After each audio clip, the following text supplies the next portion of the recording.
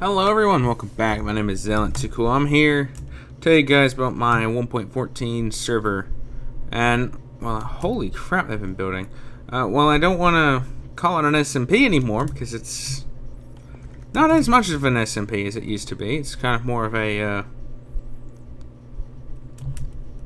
I don't know. I don't know what to call it. But,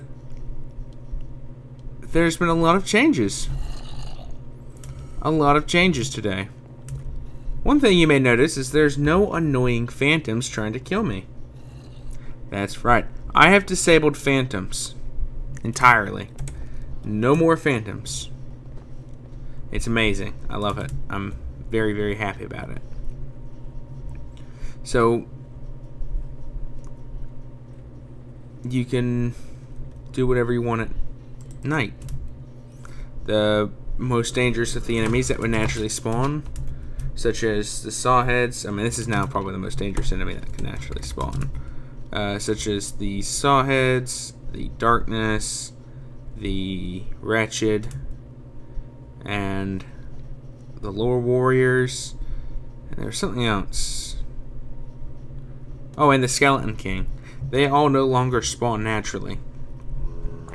So you don't have to deal with them. You can be as happy as you can be. Not having to worry about any of the horrifying monsters that used to roam the map. Alright, the worst scavers and the skeleton knights. I mean, everything else should be easy breezy. Unless you go to the swamp, and then it's, your fault. Now, hopefully I won't do it again. Earlier when I went through this portal, it glitched and put me in. Alright. Did not do it that time. Good.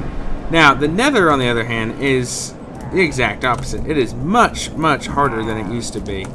It's Hydra Flames, Necromancers, Drow everywhere.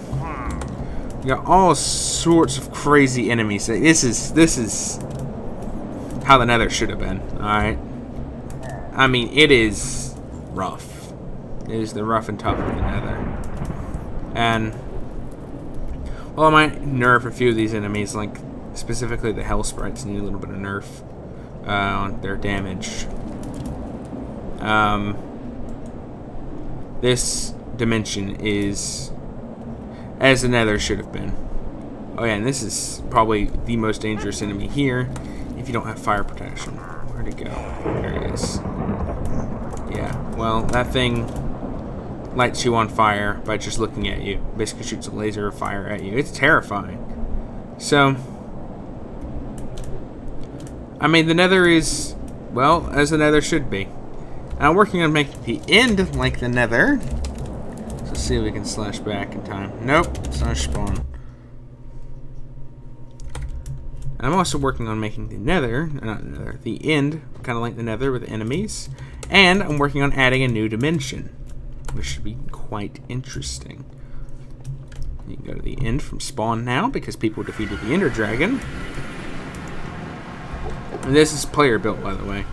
That uh, bridge thing. Now, I did add the extra obsidian. As you can see, lots have been done. There is a bridge I had to make. Apparently, using these can get you killed because of a glitch. There's a permanently stuck Vex in that boat. It's really funny. So people do, they get in a boat. Normally the Endermen do block the way. So you have to be a bit careful. But it's much faster than walking. People just bring boat. Sure, it's not teleporting. You do it right. Without angering any of the Endermens. You can get the other side of this bridge. Easy peasy, no problemo.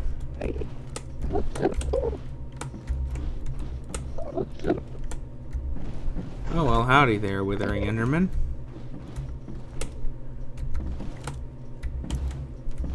Alright. Yes, it is quite a long boat trip while bumping into Endermans. Ooh.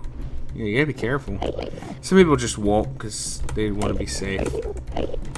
And not have to put up Endermans. I'm sure nobody's trying to light this up yet.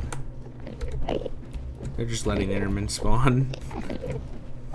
Alright, that's getting old real fast. And there's Hyper Endermen that can be in here. All the Withering Endermen. But as you can see, they're not that common. We've seen, what, three? And this is a 900 block trail. I can't see any Hyper Endermen, so... We're probably good on that one. And Hyper Endermen are just super fast Endermen. Some bonus health. Like, when they start moving, they stick out like a sore thumb because they... That's too slow, yeah.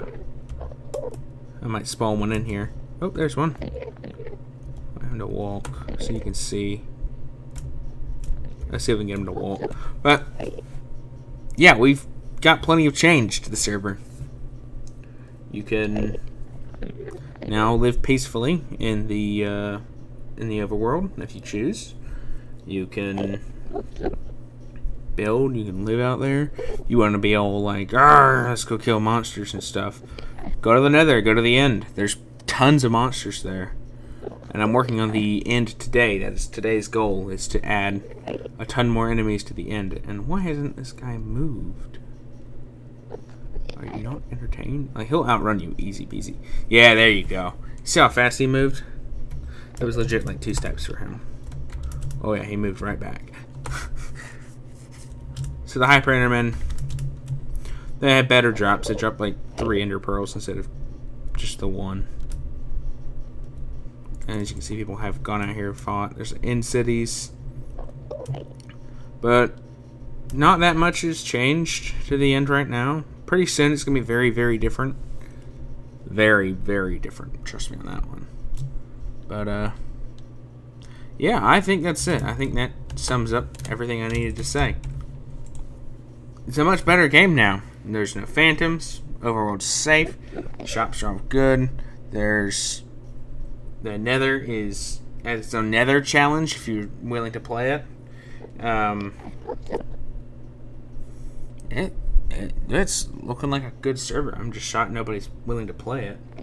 There's a couple players who are all like anti SMP right now on my Discord, and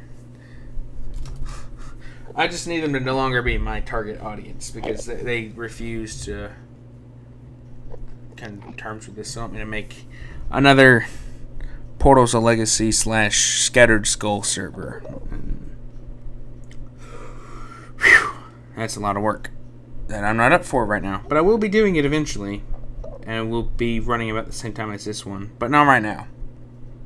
See you guys later. Pieces.